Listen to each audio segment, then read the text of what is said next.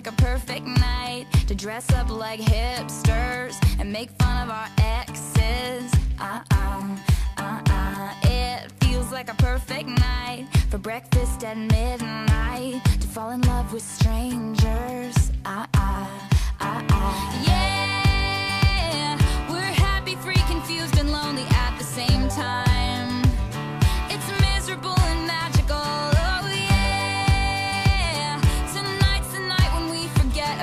dead.